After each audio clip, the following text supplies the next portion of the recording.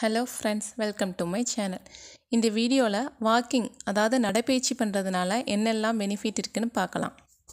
First இந்த video பார்க்குறவங்க எல்லாத்துக்கிட்டேயும் ஒரு கொஸ்டின் கேட்குறேன். நீங்கள் டெய்லி வாக்கிங் போகிறீங்களா ம்? மேக்ஸிமம் பீப்புளோட ஆன்சர் என்னவாக இருக்குன்னா நோ இப்போ உங்கள் மைண்டில் நெக்ஸ்ட் என்ன தோணும்? வாக்கிங் போக எனக்கு எங்கே டைம் இருக்குது நான் தான் வீட்டில் நிறைய வேலை பார்க்குறேன். நான் எதுக்கு வாக்கிங் போகணும்? அடுத்து எனக்கு எந்த நோயும் இல்லை. நான் ஹெல்த்தியாக தான் இருக்கேன். அப்புறம் வாக்கிங் எதுக்கு போகணும்? அடுத்து நம்ம என்ன திங்க் பண்ணிக்கிறோம்னா டயபெட்டிக் இருக்கிறவங்க அதாவது sugar patient BP heart patient மூட்டு வலி இருக்கிறவங்க ஐம்பது வயசுக்கு மேலே உள்ளவங்க அடுத்து ப்ரெக்னென்ட் லேடிஸ் இவங்க எல்லாம் தான் வாக்கிங் போகணும்னு நம்ம நினச்சிக்கிறோம். ஆனால் அப்படி இல்லை. சின்ன வயசுலேருந்து பெரியவங்க வரையும் எல்லாரும் டெய்லி அரை மணி நேரமாவது நடைப்பயிற்சி மேற்கொள்வது ரொம்ப நல்லது. சரி டெய்லி வாக்கிங் போகிறதுனால என்னெல்லாம் பெனிஃபிட் இருக்குது அது யாருக்கெல்லாம் நல்லதுன்னு இப்போ பார்க்கலாம்.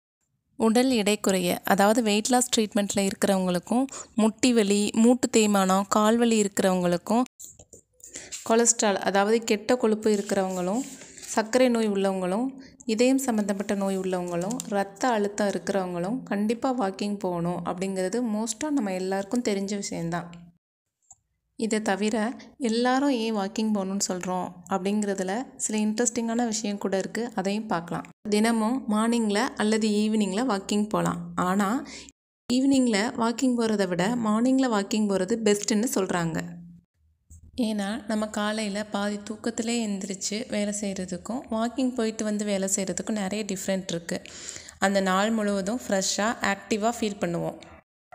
நம்ம ரெகுலராக வாக்கிங் போகிறதுனால நம்ம டைஜஸ்டிவ் சிஸ்டத்தோட ஃபங்க்ஷன்ஸ் இன்னும் இன்னும் பெஸ்ட்டாக இருக்கும்னு சொல்கிறாங்க நம்ம இறைப்பையில் சுரக்கும் செரிமான அமிலத்தின் அளவு அதிகரிக்கும். இதனால் நம்ம சாப்பிட்ற ஃபுட்டு நல்லா டைஜஸ்ட் ஆகும்.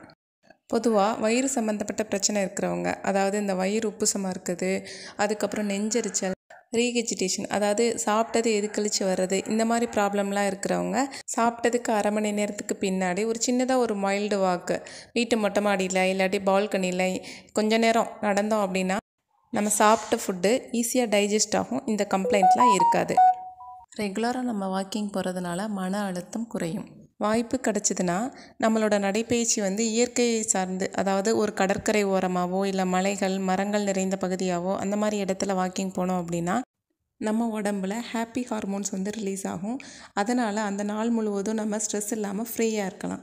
சிறு வயதிலிருந்தே விளையாட்டோட கூடிய நடைப்பயிற்சி வந்து முதுமையை தள்ளிப்போடும் அப்படின்னு ஒரு ரிசர்ச் முடிவில் சொல்கிறாங்க இன்னொரு ரிசர்ச் முடிவில் என்ன சொல்கிறாங்கன்னா சின்ன வயசுலேருந்தே வாக்கிங் போகிறவங்களோட இதயம் வயசான பிறகும் ஆரோக்கியமாகவும் இதயத்தோட சுருங்கி விரியும் தன்மை இயல்பாக இயல்பாக இருக்குன்னு சொல்கிறாங்க அடுத்து ஸ்போர்ட்ஸ் மெடிசின் அதாவது விளையாட்டு மருத்துவம்னு ஒரு பிரிட்டிஷ் மேகசினில் அறுபது பேர் வச்சு ஒரு ரிசர்ச் பண்ணியிருக்காங்க. அதில் தினமும் பதினஞ்சு நிமிஷம் வாக்கிங் போகிறவங்களோட இறப்பு விகிதம் இருபத்தி ரெண்டு சதவீதம் குறைவாக இருக்குன்னு சொல்கிறாங்க தொடர்ந்து நடைபயிற்சி செய்யும்போது நம்ம மூளையில் உள்ள ஹிப்போ காம்பஸ் பகுதி சிறப்பாக செயல்படுவதாக ஆய்வுகள் தெரிவிக்கின்றன.